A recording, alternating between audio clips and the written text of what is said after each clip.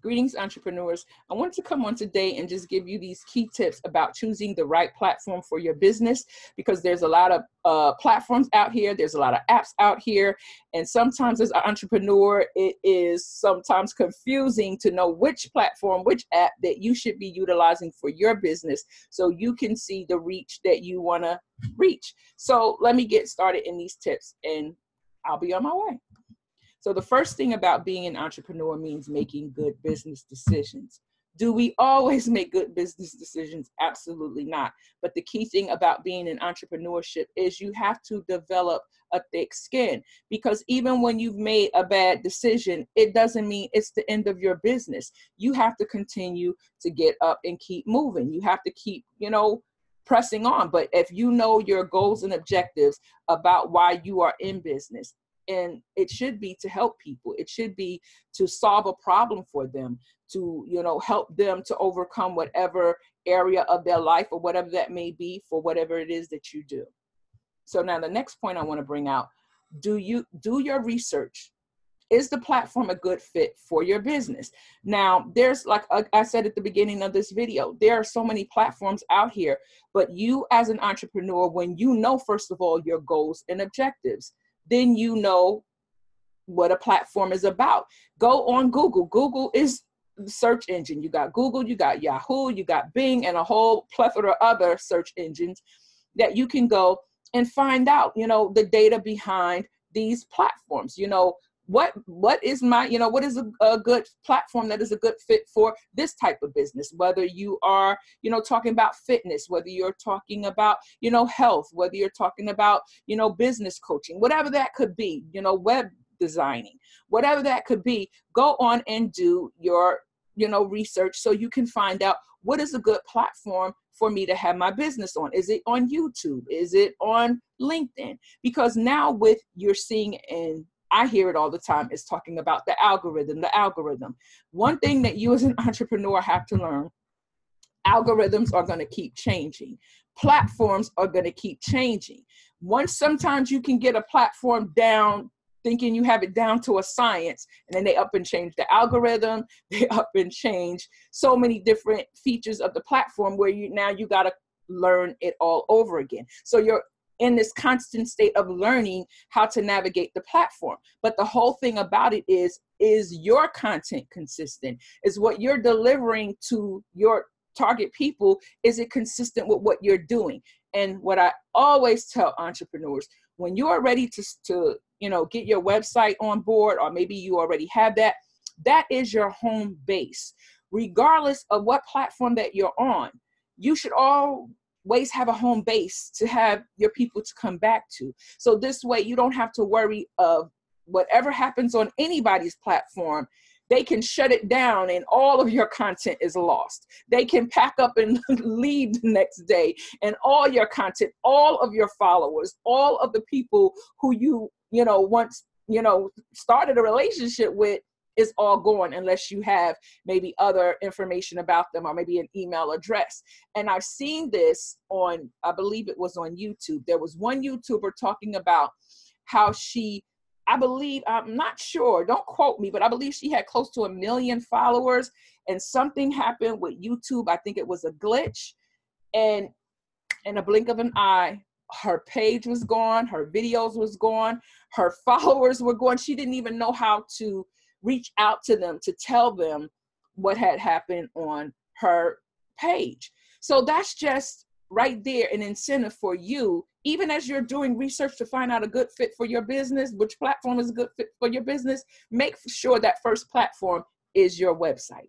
Make sure you have that because this way, whenever you're doing your videos, whenever you're doing your blog posts, whatever it is that you're doing, you can always refer the people back to your website or you could let them know listen you know if anything ever goes wrong on this platform you can always reach me here. You can always reach out to me at my website. And i think that is just a good business sense as you being an entrepreneur because you know we don't know what what happens sometimes on these internet you know sites that we're on. So we want to make sure that we're being our due diligence. And something that is old school it's not a, a bad thing or a bad idea to maybe have a spreadsheet and maybe have those email addresses in a spreadsheet that you have printed out. So if your computer goes on the fritz or whatever, you have a document or you have a file in your hand that you can reach out to those people and say, listen, this happened and I want to let you know I'm reaching out to you because that is making a good business decision.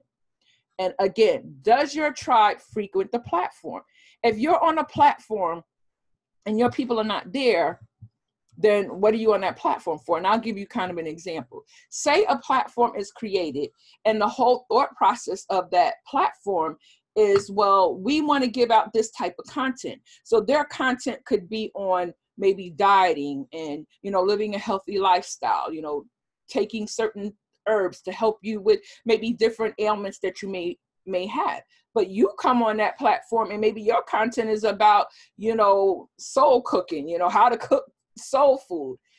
Your content is not going to, it's not going to be relevant on that platform because the whole mindset or the whole theme of that platform is based on that one theme. So make sure that when you're looking at certain platforms you know the theme of where that whole platform is going. Because if it's over this way and you over this way. And people like well you know i'm not interested in that because i'm on this platform because i'm trying to uh you know get my health in order. You talking about some deep fried food and i'm over here trying to you know live longer. So that is what i'm just trying to give you an insight to because sometimes we as entrepreneurs we create all this content and we get frustrated because nobody's resonating with it nobody's viewing it or whatever. It's not because you're not doing good content or giving out great content it might be because that's not the platform for you. So just take that and just keep moving on. There's hundreds of thousands of platforms out there. Now again i'm going to move my screen down so you can see. Does the platform provide the information you need to make a good business decision? And that's what you should be doing anyway. What are the benefits for you like and i'll use facebook as an example in this uh, video. Like with facebook they will show you if you create a business page. Like for instance i'm on i'm on facebook. I have a facebook page but guess what? I have other platforms where i get more i mean 10 times more engagement on my platform. So facebook may be just a page that i have up just to say okay i have a, a, a presence on facebook but that is not where my key followers are.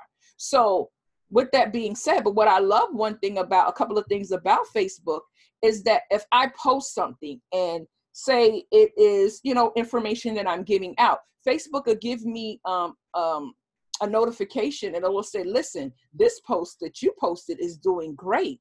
You know, you've reached this many people. You know, you can boost it for like $5 or $10 and even reach a larger reach of people. Now, as me making a business decision to say, well, wait a minute, that's a, a good business decision to make. Do I want to make that business decision? Do I want to go in and say, well, you know what? I don't even want to make uh, a boost. Maybe, you know, later on, I'll maybe take that information and go and do something, you know, even bigger with that. But what I'm saying is, the benefit that Facebook is showing, especially on its business page, if you have a Facebook business page, is you can have your website up there. You can have now where I believe they have buttons where you can have your phone um, number there, you can have your email, where they can they even have like a um, a little store, you like your storefront where you can put your products up there, your services up there. And I'm like, wow, you know, Facebook is really, you know, stepping up his game, which has been done. But a lot of people, you know, are, don't like the platform, and I can understand for what a lot of reasons why with Facebooks. But that being said, I'm just showing you the benefits maybe for those who are entrepreneurs who want to make that um, decision is this a right platform for me? Where somebody could say you know what? Uh-uh, i've been left facebook. I'm over here at linkedin because this is where my tribe is. Is that good for that business owner? Absolutely who is to tell that business person well why did you leave facebook? You you crazy for leave, leaving facebook. Well guess what? Facebook may not serve me as this platform is serving me. So i'm going to be on the platform that's serving me because i'm making the decision based on what my goals and objectives are in business. And that's basically what it comes down to. You as an entrepreneur making good decisions based on what your goals and objectives are in business does your tribe hang out on the platform? That's the key thing. If they're not there, why would you even be on a platform? Even if Facebook had, you know, all of, uh, the, even if Facebook didn't have none of your customers there, if you are have a business page and you know what, ain't nobody on Facebook for me. They're, they don't, my content is not for this platform. Then why be there? Be someplace where you know your content can get the engagement that you desire. Now, this is something that is so key, and I just wanted to just highlight this. Is your content owned by the platform once it is published? Because there's an uh, app that um, I used to publish that well there was an app that I used to publish my um podcast on. And the thing about that app, it was a it's beautiful app. I mean, it basically sends my um podcast to all these different, you know, um relevant what I would say, um, like iTunes and Apple Pod podcasts, all of these different, you know, podcasts that are out here. And I loved it because it gave me a good reach and it and I see the engagement going up on those platforms. But the whole thing about it is that the content is now owned by that platform, meaning once you upload your podcast to that platform, it's no longer owned by you. They own that podcast. And I'm like, okay, wow didn't see that coming. But you know what? It's okay because this is what I want to say to those entrepreneurs.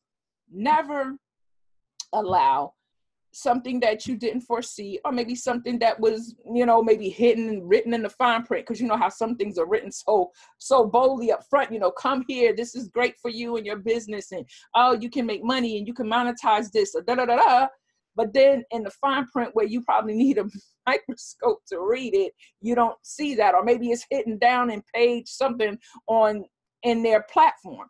But the whole thing about it, again, like I'm saying, make sure you have a home base where people can come back to your website where they can basically find your content that is there because it is owned by you. Nobody can delete it.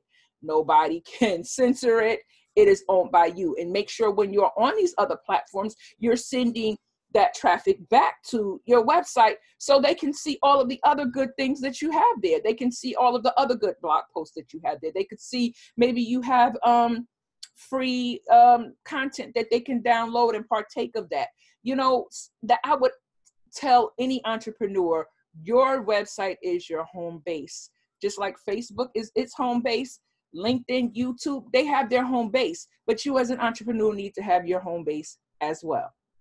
Now, the next thing I want to say on this, because I'm getting ready to end it, your research puts you in a in a position to make a well-informed decision. Now, with that being said, we research as entrepreneurs. We make sure that when wherever we're going on, whether it's a free site or a paid site, you need to basically ask the questions am I going to reach this amount of people? Do you have the data so I can make sure that you know my people are on here? And if not, it's no problem. We'll say, okay, well, this is not the platform for me, and you move on accordingly. But sometimes we as entrepreneurs, we can, you know, kind of jump ship and get into things that we don't perceive to maybe come off in a negative light. And even when it does, people, let me say this even if you've totally missed the mark in maybe getting on a, a website or a platform that is not for your business or maybe getting an app or or purchasing something that didn't pan out this is what i want to say.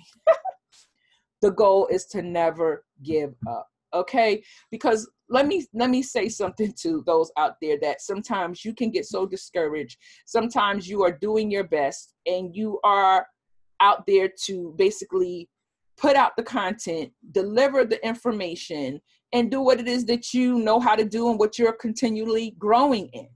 Are you going to hit bumps along the way? Uh, absolutely. But guess what? Get back up, continue to take that as what they say a life lesson, and keep moving on. Because guess what? Nobody in this life is perfect. Nobody in this life, you know, just gets it right the first time. We all learn by our mistakes. And that's what I love about this thing of entrepreneurship. There's a, a, a business coach, one of my business coaches, and she would always tell us that, you know, there's going to be, you're going to have people over here that may say this and and as you're trying to grow and you can be right at that place where that next that next post you put out or that next video that you do or that next whatever it is is going to open up the floodgates for your business. But because you now hit maybe a bump or a snare or something happened to you in your business maybe you made a, a purchased a, a course that wasn't good for you or maybe you sunk money into something that it didn't pan out and now you're feeling all this negative energy or you're feeling just like okay you know should i just throw in the towel? And it's like no because guess what if you quit, who are you quitting on? Some people could care less whether you continue in your journey of entrepreneurship or not. But the goal is what was your why of you starting it? Always go back to your why. What was the why that you started on this journey of entrepreneurship? There was an example I gave, I guess, in uh, one of my um, my live videos. I said about you know there are people that are losing millions of dollars in business. And guess what? They was like, oh, okay. Do, do are they upset about it? I can imagine they're upset about it because they lost a lot of money. And their what I would say, their basic their decision making is costing them even more money because they got more money on the line. So with them making better business decisions is crucial because they have a lot more to lose. When we are at this stage in entrepreneurship, and it's just life lessons and we're learning, guess what? Let that be something that you just continue to tick off. Oh, I learned this today. Thank you. Let me move on. Oh, I mm-hmm. learned this today. Thank you. Let me move on. And what I love is because I am surrounded by a community that continues to encourage me. And that's what I would say to you. Get around a community of people that encourage you, even when you fall short, even when you mess up. Because if you always have negative people coming to you stating and highlighting when you oh well why did you make that business decision? Or why didn't you do this? Or why didn't you do that? And and it's all negativity. Then you have to realize are those the people that you need to be around as an entrepreneur? Find you a group whatever platform that is on and basically surround yourself by people who are going to motivate you, who are going to encourage you, who are going to build you up. Because if this is something that you set within your own self that you want to grow and you want to see it flourish, because guess what? It's something that you want to leave to your children. It's a, a legacy that you want to leave to your family. You want to be some, proud of something that you've accomplished in your life. So why would you ever give up? Why would you ever throw in the towel? So again, I hope these tips help you to make wise decisions in your business, whether you are choosing to get on a new platform, whether you are choosing a different app, whatever that is, make sure that you ask yourself the right questions going in so you can make well informed decisions. And in the interim that it doesn't pan out, guess what? Continue to move forward. So have a great day. My name is Michele Riley. You can visit me at michelecriley.com on my website. That's M I C H E L E, C as in cat, R I L E Y, where you can get podcasts, you can get downloads. I also have a Facebook group called Savvypreneur, S A V V Y P R E N E U R. And what that group is, just like you see here me doing this like little slide presentation in that group i basically take you as an entrepreneur whether you're just starting out and i do many tutorials for free to help you grow your business help you to understand what business is about help you to understand do you have the right business model? Helping you understand how to find your your target customers how, to find your um, target audience how to create your um, lead magnets to help you know garner engagement to have an email list. So all of that is within this facebook group. I'm giving out these tips because guess what? I want to build a relationship with like-minded individuals to help them grow their online space and to help you succeed in what it is that you say that you want to do. So again have a great day and i will be with you on the next video. Bye bye